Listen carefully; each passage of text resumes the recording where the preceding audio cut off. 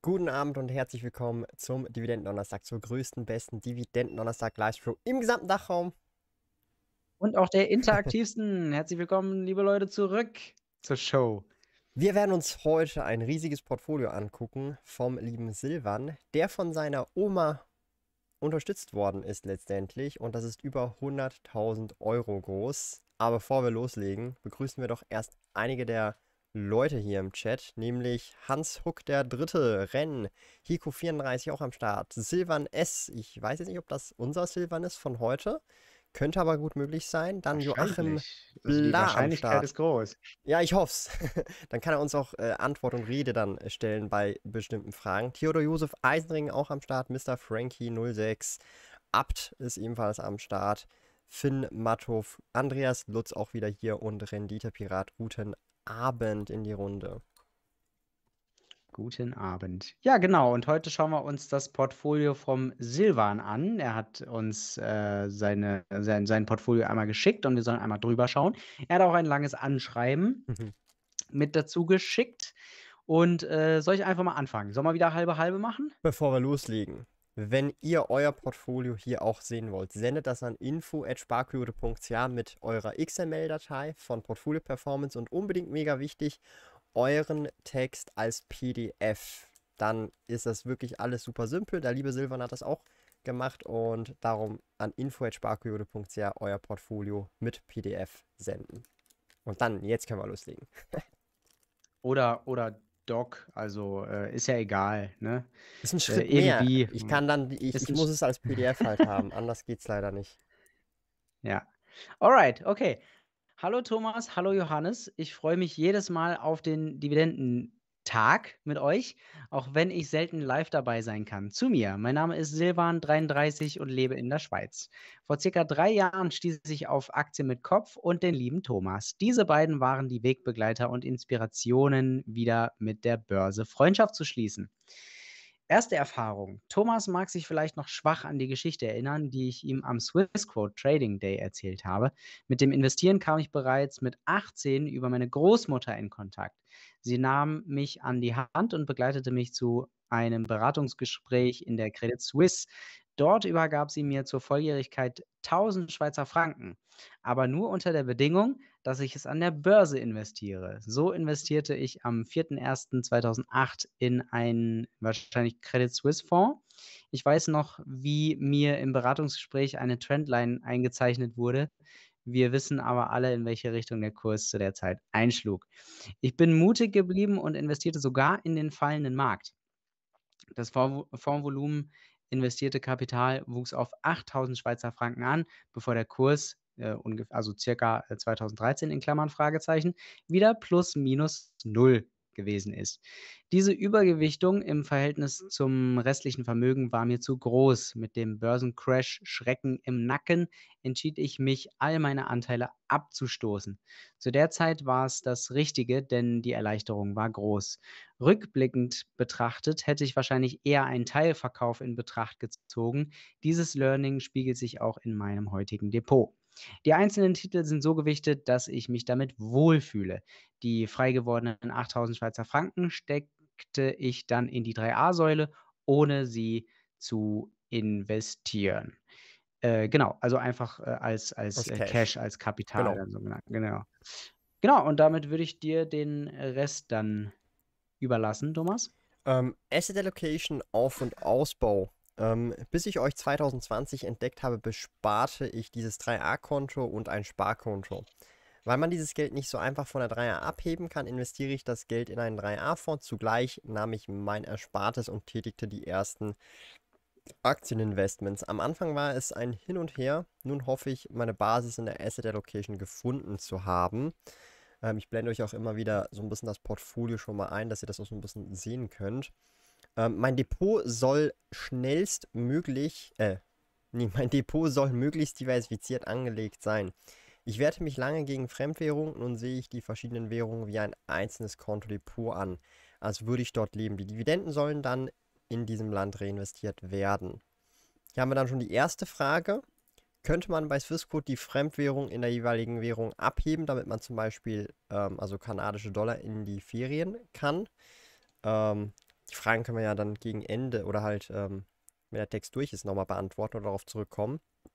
Die Einzeltitel sind ja je nach Risikobereitschaft größer oder kleiner gewichtet. Die Wachstumsaktien verwende ich bislang immer noch für meinen Spieltrieb, Tiefkauf, äh, Tiefkaufen im Hochverkaufen. Deshalb stehen zum Teil kleine Restposten wie Tesla und Microsoft im Depot.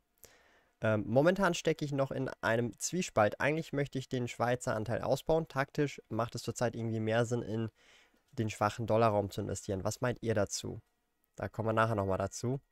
Sobald sich die Zinslage beruhigt und wieder senkt, baue ich die Branchen im Finanzsektor auf. Mit Bitcoin und Kryptowährung konnte ich bislang nicht anfreunden und ist zurzeit kein Thema. Dafür habe ich meinen Goldanteil dieses Jahr vergrößert. Münzen in Klammern. Nun kommen wir noch zur Zielsetzung. Das ist auch immer ganz cool, wenn ihr in eurem Text äh, zur Zielsetzung was schreibt und auch so ein bisschen sieht oder was das Ziel des Portfolios ist oder was ihr damit erreichen möchtet. Mein Ziel ist es im Alter, einen, erwei äh, einen erweiterten Cashflow durch Dividende zu haben. Zudem würde ich mir auch gerne ein Eigenheim kaufen. Woher das Kapital dafür kommen soll, weiß ich noch nicht. Allenfalls von der 3a-Säule. Meine Eltern und Geschwistern lassen sich von der ganzen Thematik nicht begeistern. Aus diesem Grund bin ich froh, hier bei euch Gleichgesinnte gefunden zu haben. Falls ihr noch Verbesserungen in der Darstellung oder Zuordnung des Portfolio-Performance seht, gerne anmerken. Ich habe dieses Programm noch nicht so lange und bin ich auf oder über eure Analyse gespannt. Danke für eure Arbeit und die Inspiration, die ich durch eure Videos bekomme. Dies belohne ich gerne mit einem Daumen nach oben, LG Silvan. Also der Daumen nach oben, der ist uns schon ähm, würdig, ja. ähm, danke, danke. Ich habe mir das Portfolio mal so schon grob angeguckt. Ich meine, ich zeige euch schon gerne auch mal die Asset Allocation. Er hat aktuell 55% letztendlich in ETFs oder indirekt in Fonds über die 3A-Säule. Dann ähm, knapp 40% in Einzelaktien. Dann ungefähr 2% Gold und der Rest knapp 5% noch Cash auf einem Sparkonto. Also der Großteil tatsächlich ist sozusagen in ETFs, aber wenn man jetzt mal die 3A-Säule ausklammert, ist tatsächlich der Großteil eher in Einzelaktien. Ähm, bei den Einzelaktien sieht man das jetzt nochmal ganz gut. Ich fände jetzt hier spannend, was genau in der 3A-Säule oder was das für ein Fonds genau ist oder bei welcher 3A-Säule oder bei welchem Anbieter das ist. Das wäre noch spannend, weil dann wüsste man auch so ein bisschen, was drin wäre. Und für die, die es jetzt, weil er das angemerkt hat, man kann die 3A-Säule eben später, wenn man das möchte, für ein Eigenheim Kauf nutzen. Dafür muss man aber, soweit ich weiß, das Ganze wieder umschichten auf ein Cash-Konto. Ähm, zu diesem Zeitpunkt, wo man das machen möchte. Und dann kann man damit eben, äh, also das, also, also die Eigenleistung mitbringen und damit halt dann auch ein Eigenheim unter anderem anzahlen, zusätzlich. Genau. Äh, ja, ansonsten ist das Portfolio schon sehr, sehr breit gefächert. Größte Position Nestlé, und viele der Titel, die man halt so sieht, sind tatsächlich eben sehr dividendenlastig oder eben solche klassischen ähm, Dividendenzahler wie Coca-Cola, ähm, Geberit unter anderem auch, Roche, äh, British American Tobacco. Also das ist schon ähm, wie sein Ziel auch sagt, Cashflow durch Dividende. Das widerspiegelt eigentlich sein Portfolio relativ gut, wenn man sich so die größten Positionen anguckt. Genau. Weiß nicht, ob du schon, mhm. ähm, ich meine, was du jetzt so auf den ersten Blick schon mal gesehen hast. Äh, was mir aufgefallen ist Mhm. Meinst du? Genau, ja. Grundsätzlich bei dem Portfolio? Genau. Ähm, ähm, es ist also, ich glaube, an dem Portfolio, äh, grundsätzlich also, kann kann ich gar nichts groß dagegen so also, habe ich nichts dagegen. Also, kann man kann man ja so machen, ist ist gar kein gar kein Ding. Ich will ich will da eigentlich, gar nicht drauf rumreiten, was was man da irgendwie jetzt, äh, groß drin oder so er hat ja dann gefragt: „Wie sieht's mit der ähm, äh, mit der äh, Schweizer Exposure, äh, Exposure da aus, ähm, ob, ob er das so groß lassen soll oder ähm, jetzt doch mehr in US-Aktien ähm, investieren sollte, um das so ein bisschen auszugleichen. Ähm, das ist mir als einziges so ein bisschen aufgefallen. Ja, ein kleiner Home Bias ist da, so. Äh, wenn man sich die Regionen anschaut, ist halt 14 Prozent Schweiz, so. Mhm. Was ich jetzt aber auch nicht tragisch finde. Ich meine, wie gesagt, es ist ein kleiner Home Bias so. Und Amerika ist, äh, ist jetzt bei den Aktien ähm, mit, mit 9,3 Prozent dabei. Man muss sich überlegen, wahrscheinlich ist in so einem ähm, Fonds in der 3a-Säule dann auch wieder eine andere Gewichtung und da ist dann auch Amerika größer. Das wäre dann tatsächlich natürlich spannend zu wissen, um diese Frage zu beantworten, ähm, wie du gesagt hast, was ist da genau äh, in dieser 3a-Säule drin? Wir sehen hier ähm, als ETFs sehen wir MSCI Emerging Markets EMI dabei und S&P 500 nochmal. Also das ist im Prinzip ja eigentlich auch, äh, kann man auch unter äh, Amerika ähm, einsortieren. Hm, aber grundsätzlich finde ich es auch, äh, fand ich es auch erstmal eine coole Geschichte, durch die Oma zum Investieren gekommen zu sein. Das hört man wirklich nicht so oft, ähm, dass die Oma sagt, hier, ich gebe dir 1000 äh, Schweizer Franken, aber nur unter der Bedingung, du musst das an der Börse investieren. Äh, fand ich genial. Ich werde wahrscheinlich auch mal so ein Opa sein, mhm. der seinen Enkeln dann, äh, sofern es welche geben sollte, ähm, es wird schon bei der Tochter so sein, dass, äh, wenn ich ihr da mal äh, Geld dann in die Hand drücke und dann vielleicht öfter mal mit dem Augenzwinkern so, ey, äh, wie wär's denn, wenn du das mal investierst so stattdessen, mhm. ne? Ähm, kann ich gut nachvollziehen, da hat sie auf jeden Fall, ähm, ja, also das, das muss man ihr da hoch anrechnen. Das war so der, der Ausschlaggeber fürs Investieren und dann ähm, gab es eine kleine Pause und dann später hat er sich wieder dafür interessiert äh, von alleine. Das ist, ist eine nice Geschichte ähm, und ich glaube, ähm, ja, das, das passiert auch einfach. Also ich kann das gut nachvollziehen, irgendwie so, dass man da zwischenzeitlich ein paar Jahre sagt, boah, nee, ist ke so keine Lust äh, gerade und dann später geht es wieder äh, weiter und äh, ne, dann, dann flammt das irgendwie wieder so ein bisschen auf. Ähm, Kenne ich auch. Und dann sieht man ja, was aus diesen anfänglichen 1000 Schweizer Franken letztendlich geworden ist. Ein stattliches Portfolio von ähm, 116.700 waren es vorhin noch. Ähm, jetzt bin ich gerade etwas, ja, es ist ein bisschen gefallen. 116.000 äh, Schweizer Franken und äh, 300, 326. Ähm, genau, das, das sind halt die normalen Schwankungen so. Aber das ist schon sehr stattlich. Und äh, ich glaube auch für jetzt so Schweizer äh, schon äh, wahrscheinlich ein etwas höheres Portfolio doch auch, oder? Ähm, also es kommt natürlich sehr darauf an, aber alles über 100.000 ist schon eher ein größeres Portfolio. Ja. Mhm. Weil da geht es ja um 100.000 letztendlich halt investiert. Wenn du jetzt aber so die 3a-Säule rausrechnen würdest, dann kommst du ja auf ungefähr die, ich sage jetzt mal etwas weniger als die Hälfte, so um die 50.000. Äh, auch dann ist es immer noch groß. Ähm, aber ja, es ist also 100.000 investiert zu haben, ist schon eher mehr als der, der Durchschnitt investiert an der Börse letztendlich. Das ist schon, schon so. Ähm, ich habe mir mal kurz auch angeguckt, äh, weil er auch spezifisch gefragt hat zu Portfolio Performance, äh, was man hier besser machen könnte. Also er hat jetzt zum Beispiel auch überall schön die Logos reingehauen, die Symbole, WKNs und so weiter.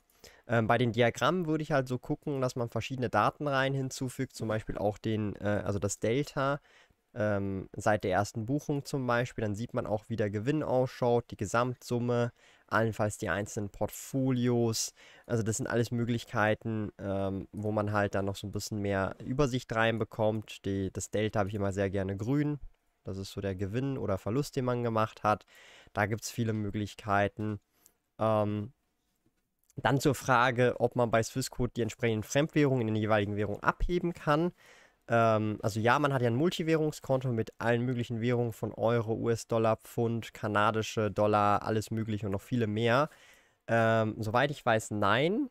Ähm, es gibt aber eben so eine äh, Multiwährungskreditkarte.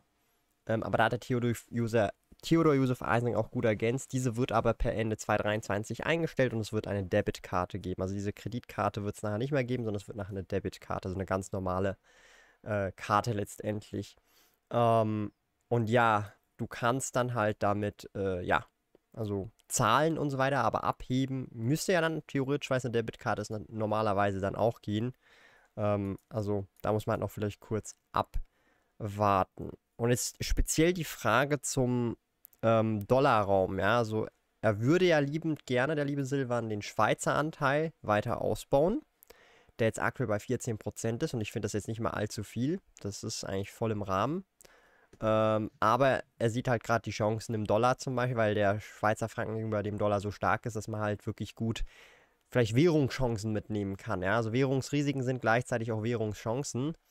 Und ich persönlich würde halt sagen, es kommt sehr darauf an, was in diesem 3A-Säule, äh, in diesem 3A-Säule-Investment drin ist. Es kann ja sein, dass jetzt zum Beispiel, ich habe auch ein 3A-Säule-Investment, was sich nur auf den Schweizer Markt äh, konzentriert. Da habe ich dann irgendwie 30k drin knapp und das ist praktisch alles am Schweizer Markt investiert. Wenn das sowas ist, dann macht es vielleicht natürlich schon Sinn, äh, eher US-amerikanische Titel zu nehmen. Aber wenn jetzt zum Beispiel irgendwas Globales in diesem 3A, in dieser 3A-Säule drin ist, wo der Großteil auch wieder USA ist schon bereits, ähm, dann bin ich ehrlich, dann würde ich vielleicht eher so eine Tendenz haben, ich persönlich äh, Schweizer Aktien weiter auszubauen. Es kommt sehr darauf an, was in dieser 3A-Säule drin ist, meiner Meinung nach, oder wie die konkret aufgestellt ist. Und ich würde diese Entscheidung abhängig von dieser 3A-Säule äh, machen. Ja. Das macht meiner ja. Meinung nach auch am meisten äh, Sinn, finde ich jetzt persönlich. Und puncto Eigenheim auch nochmal. Ähm, ich habe erst gerade kürzlich so ein bisschen recherchiert zum Thema Eigenheim in der Schweiz und auch äh, heiraten und andere Geschichten. Es ist ja so, wenn ich jetzt die Zahlen richtig im Kopf habe, der durchschnittliche Bürger hier in der Schweiz, der sich ein Eigenheim leistet, und das sind ungefähr ein Drittel, also ein knapper Drittel oder so, also jeder Dritte oder jede dritte, äh, jeder dritte Haushalt, also nicht jede dritte Person, sondern jeder dritte Haushalt, ähm, der zahlt 212.000 Franken an. Also das ist Eigenkapital, Eigenmittel. Mit der 3a-Säule wow. hat, hat er jetzt schon, ein, ich sage jetzt mal, ein gutes Viertel. Wenn er das gesamte Portfolio nimmt, hat er schon die Hälfte. Ja. Und der, also das heißt, die Immobilie, die sich dann die meisten holen, ist ungefähr um die 700.000 plus minus. Also schwer oder groß in dem Bereich. Das bedeutet allerdings, wenn du so diese Durchschnittszahl nimmst, dann kannst du Zürich oder andere Städte, die etwas größer sind, eigentlich vergessen in der Schweiz. Das heißt, du bist so ein bisschen außerhalb, so ein bisschen ländlicher in der Agglomeration und das ist durchaus möglich, finde ich persönlich. Aber ähm, für die meisten wird das wahrscheinlich schon so sein, dass die 3a-Säule einen Großteil dazu beitragen wird, wenn sie sich ein Eigenheim holen wollen, das dann auch tun. Und sehr oft sind das dann vielleicht auch zwei 3a-Säulen, also von Mann und Frau oder von Lebenspartner und Lebenspartner, wo dann zusammengelegt wird und dann eben diese zwei 212.000 im Durchschnitt hingeblättert werden an Eigenkapital. Genau. Das noch so am äh, Rande, wenn wir eh schon beim Eigenheim sind. Also es ist tatsächlich nicht leicht, äh, weil ansonsten würden es deutlich mehr als nur ein Drittel der Schweizer tun. Mhm. Das ist schon nicht billig, ne? Und Eigenheim mein, bedeutet also nicht, nicht Haus per, per se, sondern Eigenheim kann auch eine mhm. Eigentumswohnung sein, ja. Mhm. Also das äh, muss hier auch nochmal gesagt äh, werden. Also Eigenheim ist nicht automatisch gleich Haus. Ja, das stimmt. Ich denke auch bei, beim Hauskauf, denke ich auch, also vor allem an, an beides. Jetzt nicht für mich, sondern immer, wenn es um das Thema geht, irgendwie so, ja, Wohnung, weil äh, ich kenne auch viele, die einfach echt eine Wohnung haben. So, mhm. es gibt ein paar, die haben Haus, das ist aber echt wenig.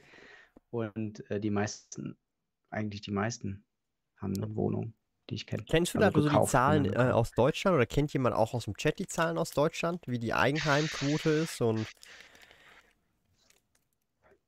ich würde aber schon schätzen, mehr, mehr als in, in, ja? in, der Schweiz, weil ich habe im Kopf, dass. Echt? Dass Deutschland nicht ein Mieterland ist. Und ein Mieterland bist du ja. in dem Moment, bist du sicher? Weil in dem Moment, wo über 5, also halt das, was über 50 Prozent ist, ist halt dann, also ich dachte, über 50 Prozent haben Eigenheim. Oder, oder habe ich das in falsch Deutschland? Ja.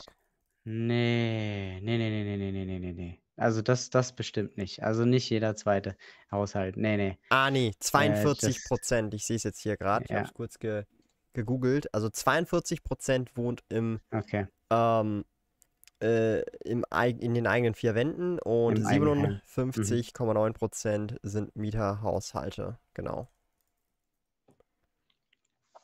Ja. Ne, ne, also mir ist Deutschland auch bekannt als, äh, ein Mieterland, doch eher. Mhm. Es gibt da so andere Länder, ich glaube, da äh, äh, wenn du dann so in die mediterrane äh, Gegend kommst oder, äh, grundsätzlich, äh, Iberische Halbinsel oder so, ich glaube, da ist dann eher so, dass es eigentlich normal ist, 'n Haus zu wirklich zu besitzen, 'n Haus zu kaufen. Mhm. So Portugal, Spanien, was weiß ich, wahrscheinlich auch Italien, könnte Ja. ich mir vorstellen, aber da lehne ich mich schon wieder aus'm Fenster. Portugal und Spanien bin ich mir relativ sicher. Gucken wir mal Italien nach. Guck mal, Äh guck mal Italien. Ja, also 73 in der selbstgenu im selbstgenutzten Wohneigentum, ganz klar Eigenheimland. Brasilien also ich finde es jetzt nicht. Portugal auch in Portugal fast 80% im Eigenheim. Jetzt interessiert mich auch gleich noch Ungarn. Ja, Ungarn, du da hast du eher 'n Problem, wenn du 91 mieten willst, also 91 wow. wohnt im Eigenheim. Holy shit. Wow. Holy shit. Das ist ja ganz krass. Das heißt, also nur jeder Zehnte wohnt zur Miete in Ungarn. Wow, das hätte ich jetzt echt nicht, äh, gedacht. Wow.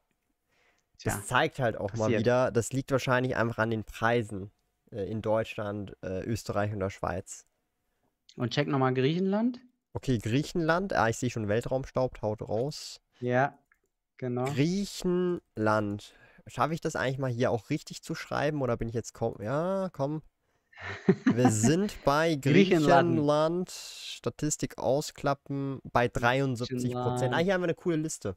Albanien Aha. 96% Eigenheimquote, Rumänien 95% Ungarn ist auf Platz 5.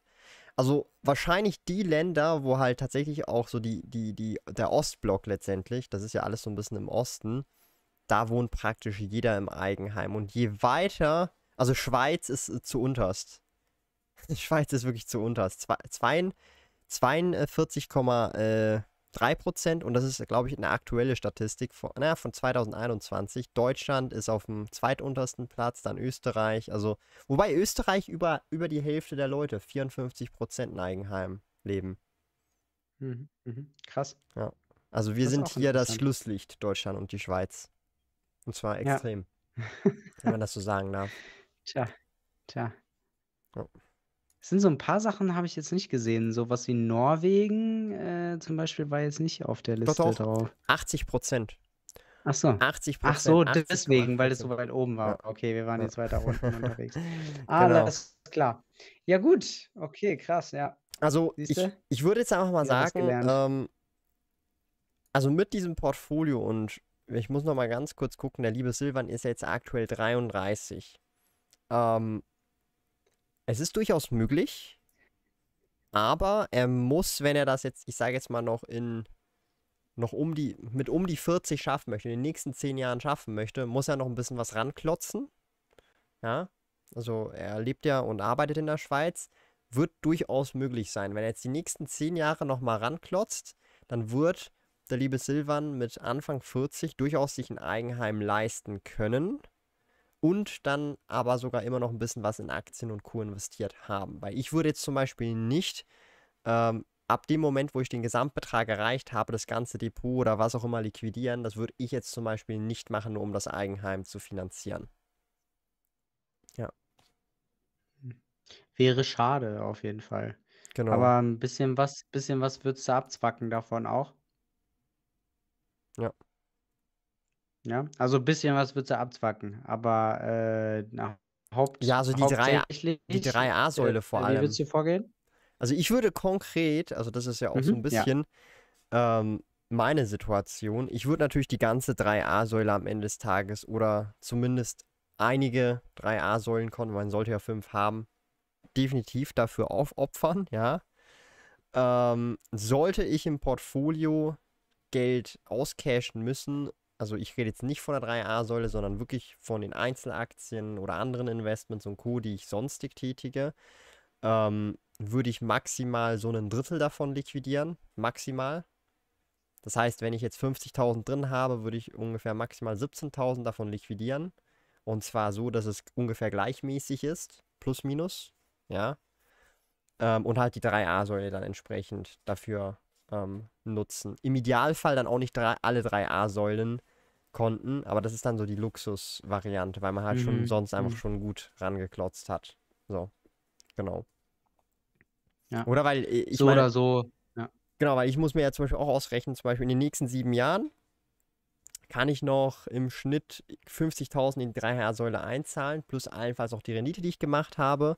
Plus ich habe ja schon bereits irgendwie 50.000 in 3HR-Säule, das heißt, ich habe dann in sieben Jahren ungefähr 100.000 eingezahlt. Und ich weiß aber, dass zum Beispiel ähm, ich vielleicht noch ein bisschen Rendite gemacht habe und ich kann dann halt ein, zwei oder drei der 3A-Säulenkonten auflösen dafür. Also nicht auflösen, aber halt für das dann verwenden. Ähm, genau. Und man hat ja auch immer den Lebenspartner, wo man dort auch die 3A-Säule füllen kann. Also hat man das eigentlich doppelt gemoppelt. Also man hat die 3A-Säule eigentlich dann doppelt sozusagen. Ähm, also hat man bis zu dem Zeitpunkt dann schon mal auf jeden Fall die 200.000, wenn man das zu zweit macht. Ja. Und halt über mindestens so 12 bis 13 Jahre hinweg. Genau, Mhm. genau. Ja, äh, ansonsten hast du Verbesserungsvorschläge für dieses Portfolio? Ähm, also ich würde jetzt persönlich, jetzt rein mal auf Portfolio-Performance-Basis, würde ich einfach mal reinschreiben, was das überhaupt für ein ähm, 3A-Säule äh, Depot Mhm. ist. Vielleicht allenfalls noch aufteilen, wenn möglich.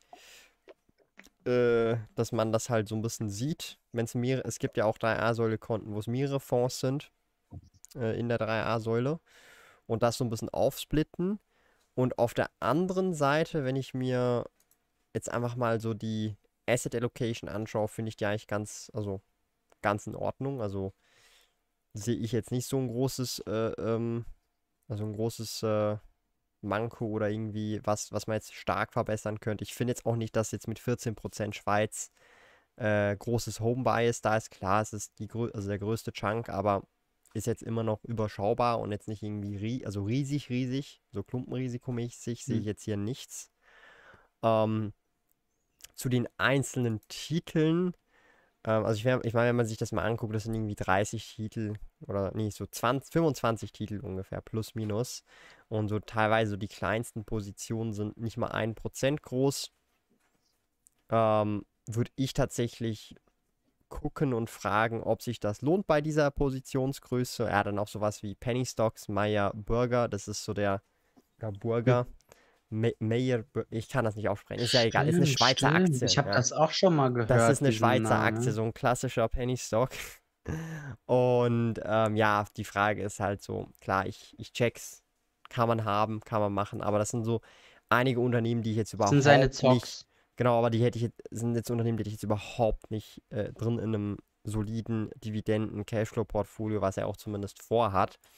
Und was ich auch gesehen habe, aber das sagt er auch selber, er schließt die Trades relativ, ja, zügig, wenn ich das so sagen darf. Ich finde persönlich so schwierig, also ich würde es jetzt nicht so machen, aber er macht es jetzt halt so. Ähm, und das ist halt einfach eine völlig andere Strategie. Also ich bin der Meinung, dass die Trades einfach viel zu schnell geschlossen werden. Also hat jetzt hier mal so Tesla gekauft und dann drei Monate später verkauft. Solche Geschichten halt für 400 oder 500 Gewinn. Oder hier auch ähm, innerhalb von zwei Monaten gekauft, verkauft.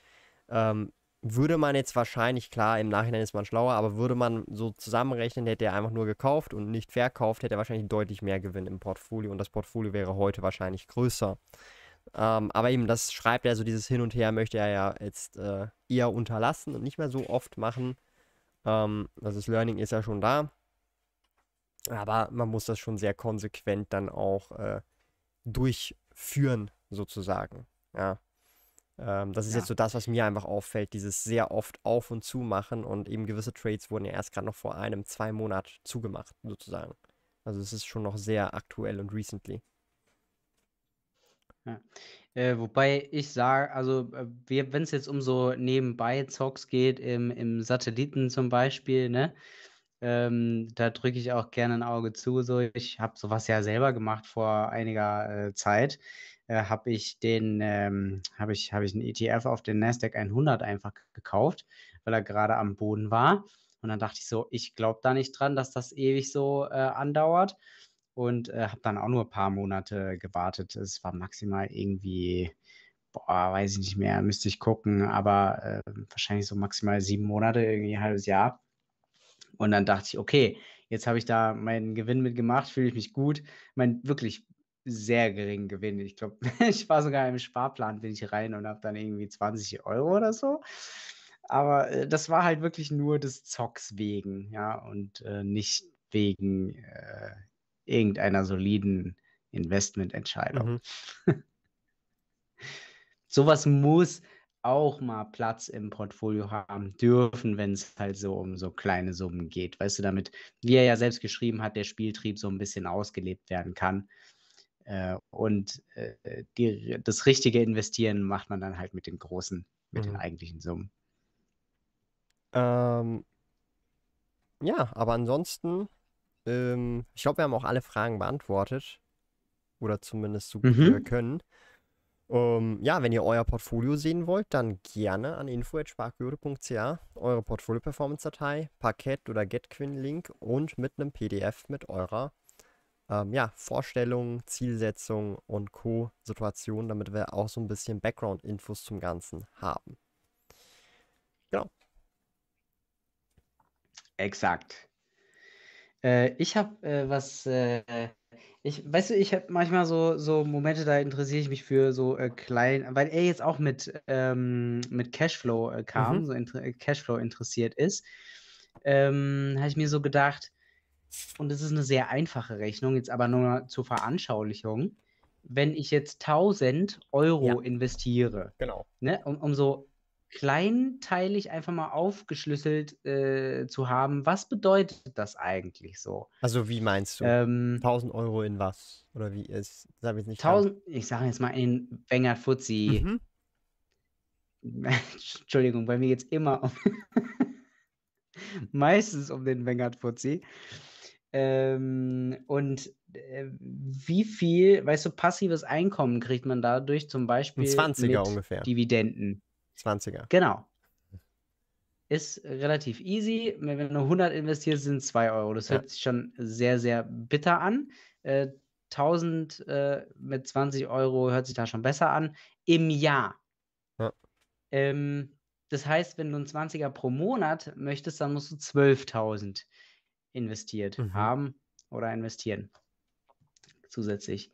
Wenn du jetzt äh, nicht nur die Dividenden, sondern insgesamt mit äh, Kursgewinnen das äh, schaust, na gut, wo sind wir dann? Zwischen 7 und 9 Prozent. Ja, Also nehmen wir 80. ähm, 70, nehmen wir 80, genau. Da sind wir in der Mitte, sind wir wahrscheinlich bei einem ähm, insgesamten Gewinn von, also insgesamt Rendite, Totalrendite von 80 Euro ähm, pro Jahr für 1000 Euro. Mhm. So, und das einfach mal so, nur noch mal zur Veranschaulichung. Manchmal, äh, ich weiß, es ist super banal so, ähm, aber einfach, ähm, manchmal im Alltag denke ich mir einfach, boah, ja, eigentlich, eigentlich müsste ich mal wissen, wie viel kriege ich denn, wenn ich jetzt hier so 1000 Euro investiere und dann ähm, überlegt man kurz und dann weiß man, ah ja, 20 Euro Dividende, ah ja, okay, aber im Jahr, hm, das ist ein bisschen wenig, hm, muss ich mehr investieren. So, weißt du? so, aber ist ja auch schon mal was. Ähm, ja, Und dann kannst du dir ausrechnen, wie viel musst du für 20 Euro arbeiten. Also wie viel Zeit, äh, richtig, Das ist so richtig, der nächste ganz Step. genau, finde ich persönlich. ganz genau, ganz genau. Und dann äh, findet man schnell heraus, so dass ähm, das passive Einkommen mit äh, jetzt Aktien an der Börse gar nicht so leicht ist, gar nicht so easy zu realisieren und dass man äh, deutlich besser mit ganz normaler Arbeit verdient. Und vor allem deutlich und schneller. äh, vor allem deutlich schneller und ähm, da schließt sich der Kreis, das äh, sagst du ja auch häufig, einfach äh, guckt, dass ihr das Einkommen erhöht. Das ist der, äh, das ist der größere Hebel als ähm, Doch, den das ist der passiven. Einkommen an der, Der Silvan an der, an der S Börse. ist, äh, er schreibt auch Danke für den Input. Sehr, sehr gerne. Ja. Ja, ja. Das hast du das, war das Ich dir nicht das, klar? ich, mir war das jetzt nicht hundertprozentig klar, weil, ja. Es gibt ja, Silvan ist ja schon, also ein Name, den gibt es auch so. öfters, weißt du? Ach So wie so. Thomas. Thomas ist jetzt auch so ein Allerweltsname. Es könnte ja Ja, per Zufall jemand anderes, also ein anderer Silvan sein. Ja, mir, mir war es klar, als er geschrieben hat, ich betrachte mein Depot immer ohne die 3a-Säule. Ah, ich habe das, ich habe das gar nicht. Ah, dann habe ich das Da, überlesen. da Ja. wusste ich, da so. wusste ich, okay, das, das ist der Silvan. Ja.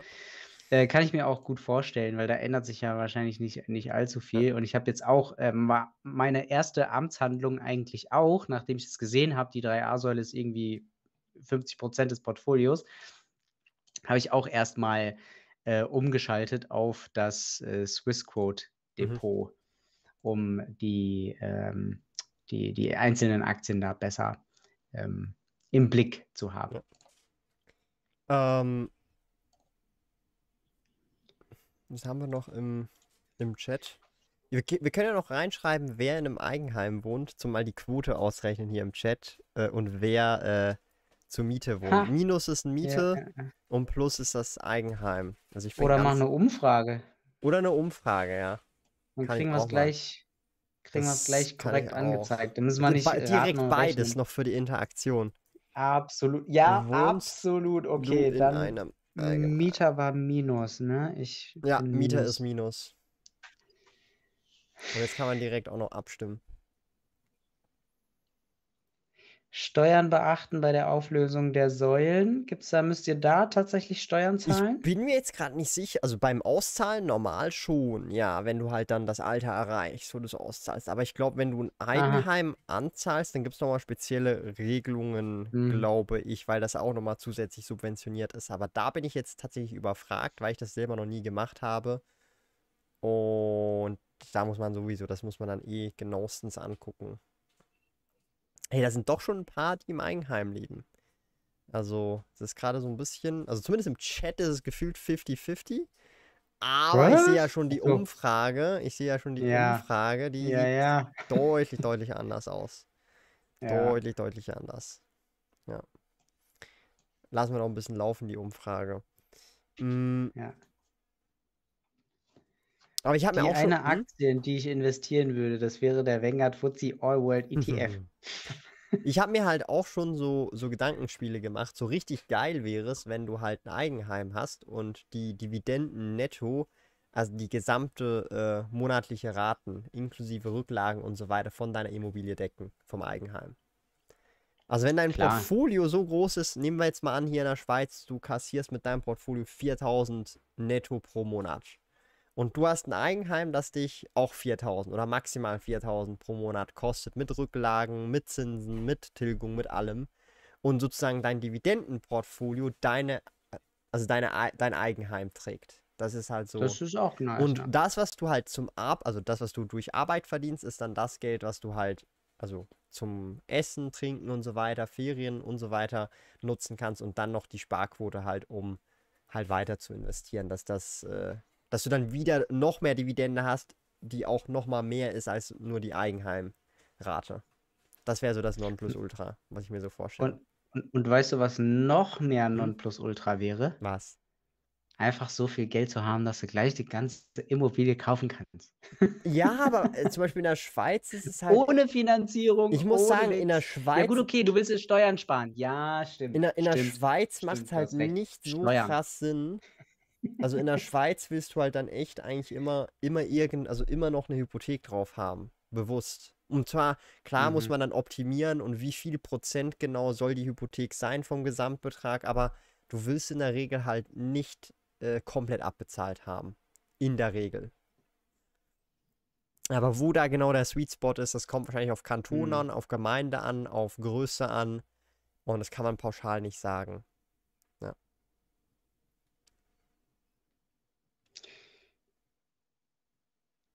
Okay, ich darf mich wohl nicht rausreden mit einem ETF.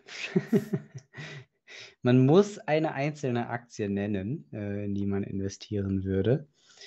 Boah, ist schwierig. Für welche Aktie würdet ihr euch entscheiden, wenn ihr jetzt in Ja. eine investieren Also müsstet? ich, ich, ich, ich sag's nie für dich, ja?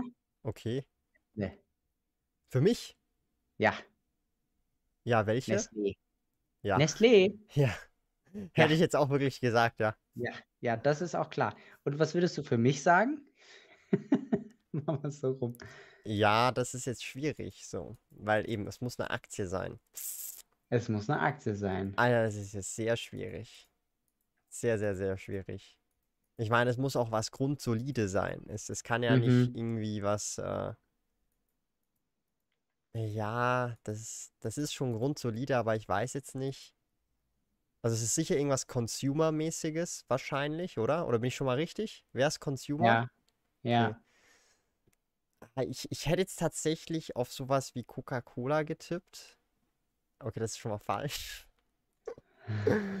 Ähm, nein, ich, ich bin überfragt. Aber ich hätte jetzt Coca-Cola, hätte ich gesagt. Oder irgendwas Ja, Consumer-mäßiges. ja. Nee, ich glaube, Coca-Cola wäre mir zu, zu flat irgendwie. Was Ähm, ich hättest du weiß dann? nicht, also ich, ich, also ich wäre wahrscheinlich doch irgendwie dann so in, weiß ich, ich habe so ähm, Microsoft oder Apple tatsächlich dann im Kopf bei Sogar. sowas. Aber du hast ja die Ja, Titel gar nicht im Portfolio. das stimmt. Das macht Ja. ja gar keinen Nee, Sinn. doch, total, weil ich habe den Vanguard FTSE All World und die äh, so. haben, sind da auch zu einem großen Teil, also zu so. einem genügend großen so. Teil drin. Ist ja Ja, also klar, Apple hätte ich noch Ä- Apple, hättest du Apple gesagt, wäre das für mich auch okay gewesen, weil Apple und Nest, also das wäre jetzt auch noch äh, so in dem Bereich. Da hätte ich auch nichts Ja, dagegen. ja, ne? Aber in der. Realität machst du das halt nicht, weil das einfach zu Nee, risky ist. Ja. ja, genau, Egal wie gut genau. das Unternehmen ist, ja, auch wenn es eine Nestlé ist, das machst du halt einfach nicht. Ja. Und ähm, ja. Aber es sind halt tolle, Aber es ist interessante halt interessant, so, Gedankenspiele. ne? Man, ja, ja, auf jeden Fall. Man hört halt dann so äh, raus, so auch jetzt hier äh, wurde Unilever äh, geschrieben. War es Telefonica Deutschland? Glaube ich nicht. Das glaube ich ja jetzt nicht. Drei Groschen Das soll die beste Aktie. ähm, man hört halt so raus, was die, was die beliebtesten äh, Aktien bei den Allianz. Leuten sind, wo, Der wo am Johannes bei der meisten, Allianz. wo am meisten Vertrauen äh, drin ist. Allianz? Da, da wurde doch schon gesagt, die kann nicht, da kann nichts passieren, die, die kann überhaupt nicht pleite gehen. Das äh, ist doch so ein, so ein Spruch, fading. wenn der einmal, wenn der einmal gebracht wurde, dann äh, ist das gerade deshalb gefährlich. Äh, wie ist For Vampire? Schreibt, by the way, hört niemals auf, ihr beiden, ihr macht das super. Das ist der Plan. Danke. Lieben Dank. Nee, wir haben echt vor, also auch noch mit äh, 60, 70, wenn wir in Rente sind hier, ähm, wohlverdient dann irgendwann und nebenbei natürlich weiterarbeiten, ist klar, Thomas, du Genau. sowieso. Und dann schön noch Dividende Dann, einkassieren. genau. Dann, selbst dann werden wir hier, äh, und sei es mit dem Gebiss irgendwie, äh, werden wir uns hier noch vor die Webcam Mhm. setzen und äh, den Dividenden Dienstag oder Donnerstag oder Ja, irgendwas später ist das machen. nicht mehr mit Webcam. Das ist dann so mit direkt Dive mit Brille oder keine Ahnung was. Neuro-Dive. Ja, ja, ja, Ja, VR. Wir genau. treffen uns dann im, Nee, im das ist VR Metaverse. ist dann schon wieder alt, weißt du? Du Ach so, Vier- Das ist ach ja in so. 30 Jahren, 30, 40 Jahren, da passiert noch viel. Stimmt, stimmt. Wir machen dann einfach per, per Telepathie Ja, funktioniert das so Ganze schaut dann. Und das jeder aus. nimmt direkt teil an den Mhm. Gedanken des anderen. Und das wird so wirr, Leute, das wird so äh, unnormal. Mm, Nee. Also da, da habe ich echt ein bisschen Respekt davor, wenn man irgendwie Gedanken, äh, also direkt sowas im, im Hirn hat, womit man, also WhatsApp im Hirn.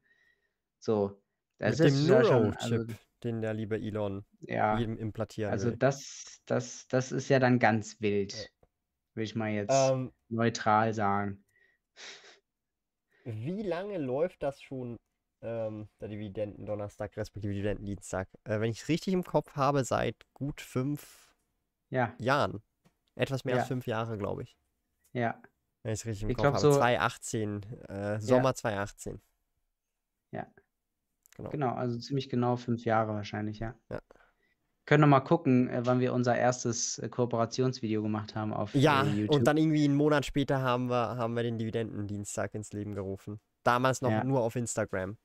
Heute ja, auf YouTube, exklusiv. ja. Exklusiv. Exclusive. Ähm, was haben wir denn noch? Äh, als Info hier von Theodor Josef Einsring. Nestle dümpelt etwas, weil die EU die Alukapseln verbieten will. Nespresso und Café Dolce Gusto. Ja, Nespresso, also allgemein, Ka also so diese Kapselkaffees ist ein Big Chunk von Nestle. Aber auch so Katzen, also Katzenfutter, äh, Tierfutter und Co. ist auch ein Big Chunk. Das wird nicht leicht. War Ich, beim ich Release dabei, wie es vor Vampire schreibt hier, echtes Staple. Ist auch ein Statement zum Dividenden Donnerstag, Dienstag. Was, wo, wo war er dabei? Ähm, Achso, war beim Release dabei. Ja, also damals noch, also bei den ersten, ja. Wow, wow, krass. Krass. Warte. Warte. Ein Herz. Heute Ähm, kriegst du das Herz. Letztes Mal war es Joachim Bla, weil er zwei Stunden lang ein Video gesucht hat. Heute bist du es. Fürs seit Anfang an dabei sein. Wie ist vor. Vampire? Grüße gehen raus. Ähm, wir haben hier, also ihr könnt gerne noch ein paar Fragen reinhauen. Wir machen noch bis äh, Punkt.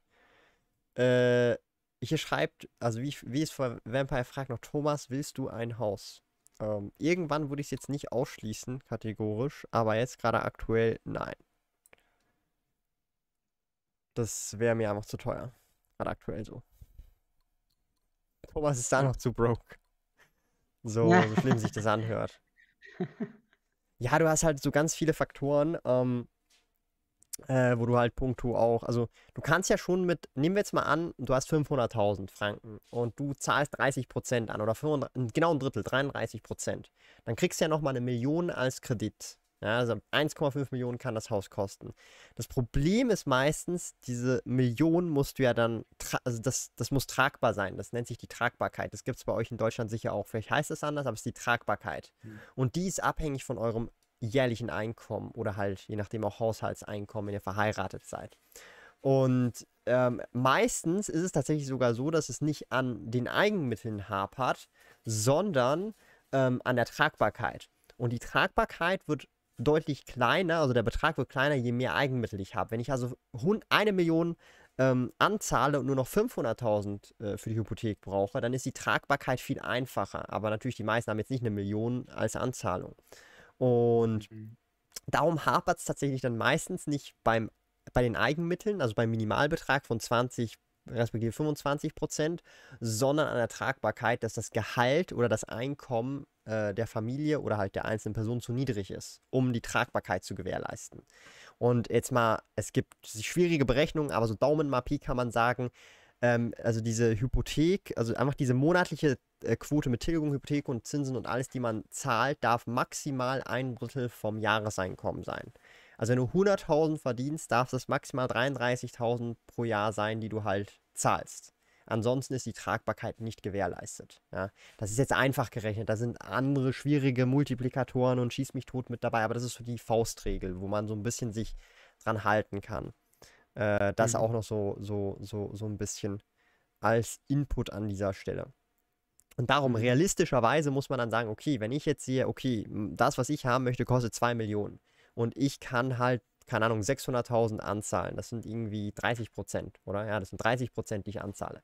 1,4 Millionen Kredit letztendlich und dass du hier eine Tragbarkeit bekommst, da musst du halt mehrere hunderttausend, wenn nicht sogar fast schon irgendwie gefühlt 300.000, 400.000 pro Jahr ähm, an Einkommen oder sogar auch eine halbe Million an Einkommen generieren, dass du überhaupt mit dieser niedrigen Anzahlung, also Eigenmitteln, überhaupt äh, dann den, also die Hypothek bekommst tatsächlich. Ja. Einfach um das so ein bisschen realistisch zu, äh, zu betrachten. Mhm. Genau. Das ist eine ganz coole Faustregel. Ich kenne das leider nicht für äh, Deutschland, damit kann ich nicht dienen. Aber da gibt es halt sicherlich, also das heißt ja, glaube ich, auch bei euch Tragbarkeit und sonst, wenn es, es wird den anderen Begriff geben, aber es wird ähnlich ablaufen. Ja, ich kenne das unter einem Oberbegriff Kreditwürdigkeit Nee, halt einfach, ne? Kreditwürdigkeit ist was anderes. Nee? Ach so. Kreditwürdigkeit ist halt, ähm, ob du schon auch in Vergangenheit Kredite nicht zurückgezahlt hast, solche Gesch also so zur Bon also das zählt dann zur Bonität.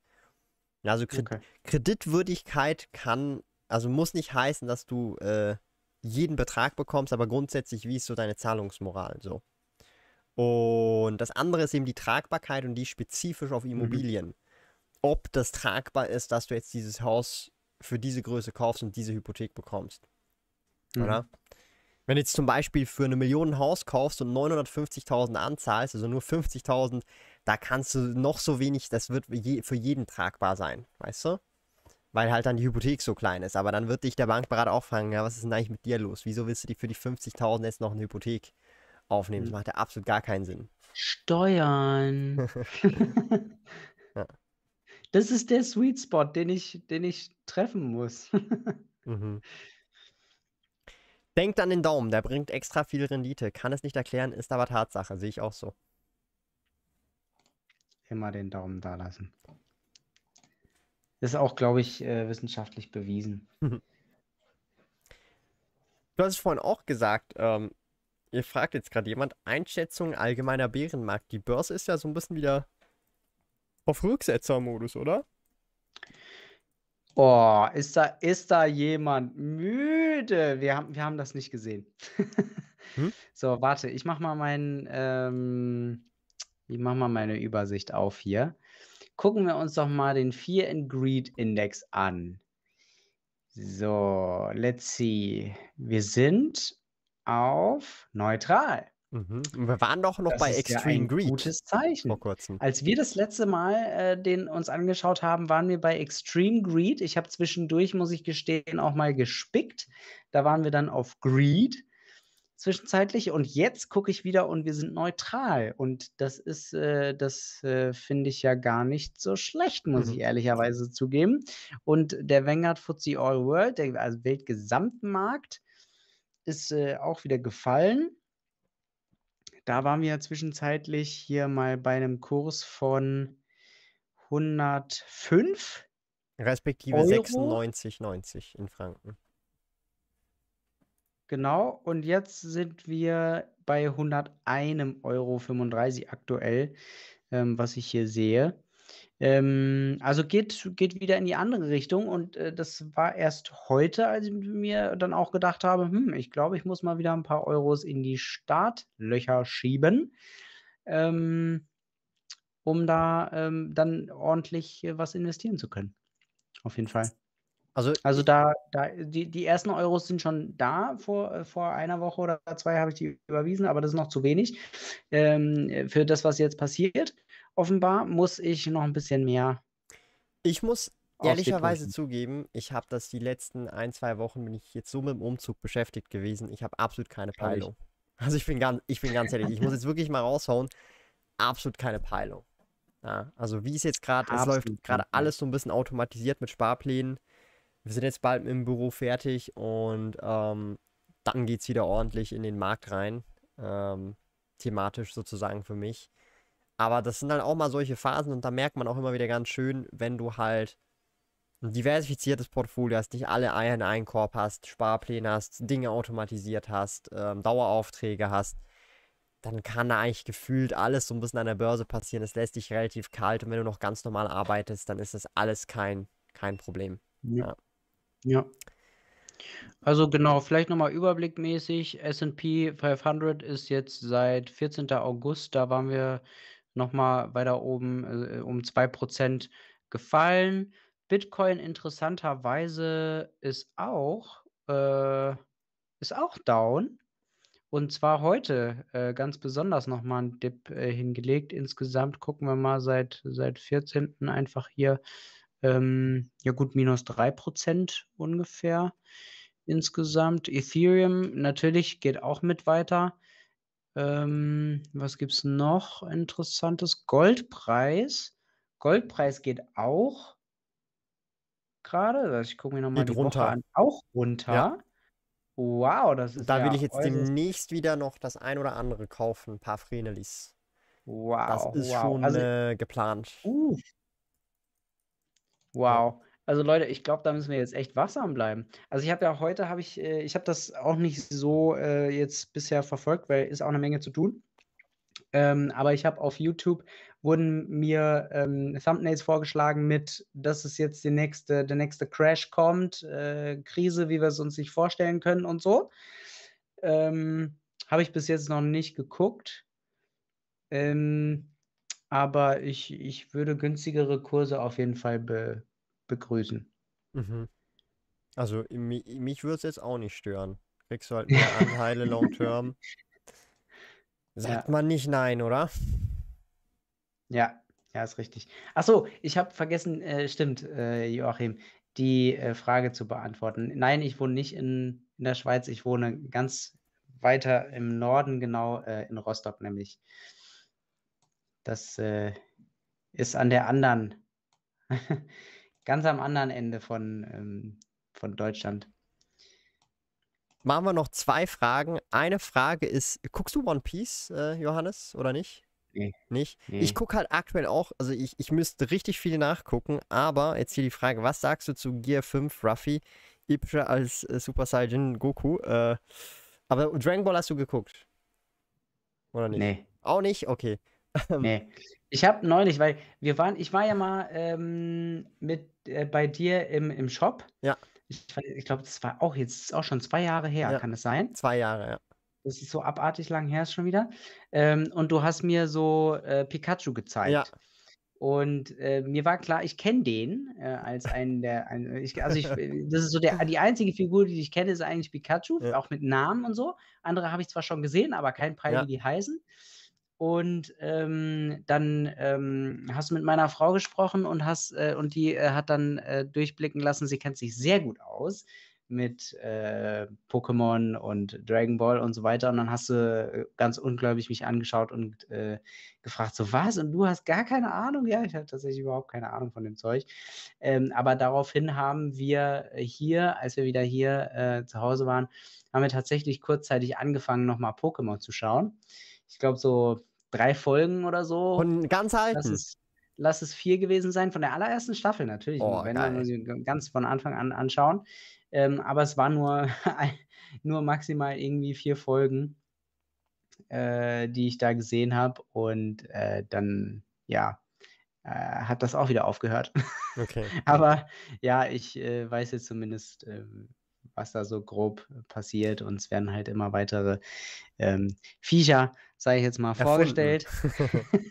vorgestellt, was sie können und so.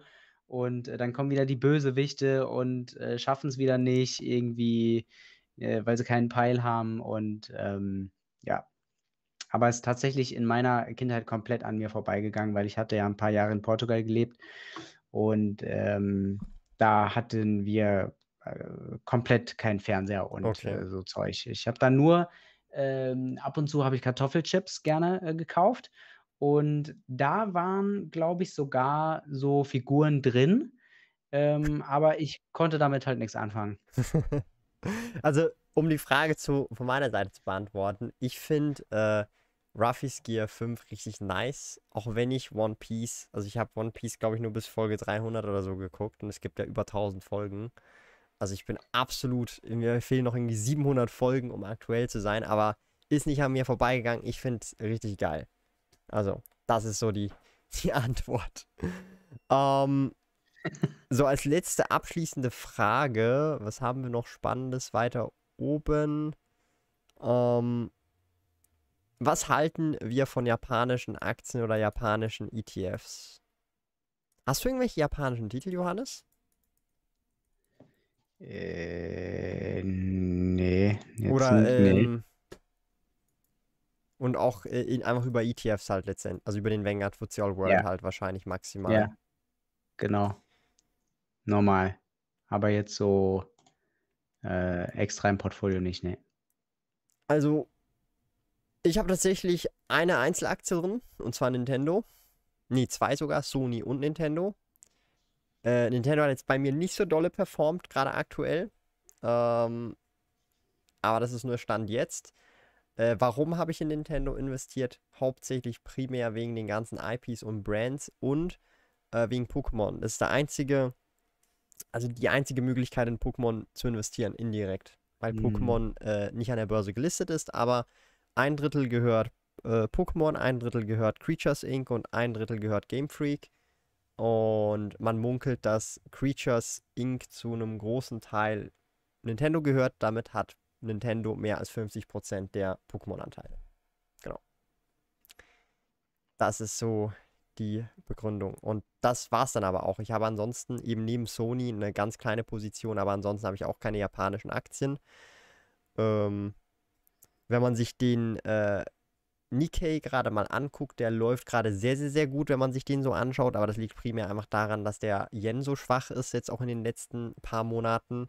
Und dadurch, dass natürlich dann optisch sehr geil ausschaut, aber dann währungsbereinigt, sieht man dann jetzt zum Beispiel gegenüber den Schweizer Franken, ist jetzt nicht so eine dolle Performance gewesen, wie das hier jetzt so angezeigt wird. Ja, das einfach auch nochmal so nebenbei. Ich würde es jetzt kategorisch nicht ausschließen, ist aber dann trotzdem nochmal etwas spezieller und man muss sich dann schon spezifisch sehr damit auseinandersetzen, da das schon nochmal, äh, ja, eine andere Sache ist. Genau. Ja. Ja. Ich werde da wahrscheinlich keinen Fuß mehr fassen. Keine Ahnung.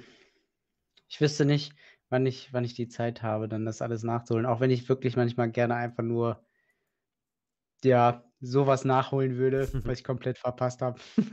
Warum eigentlich Johannes der Christle hier? Wieso? Habe ich einen Heiligenschein, den ich nicht, nicht sehe?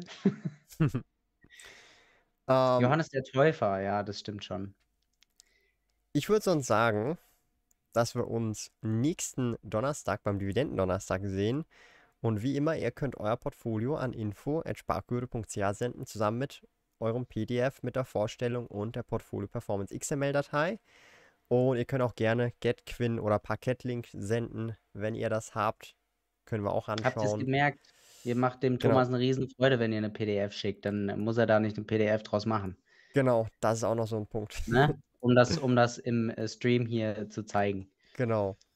Dann würde ich sagen, ähm, euch noch einen schönen Abend und dann sehen wir uns beim nächsten Dividendendonnerstag.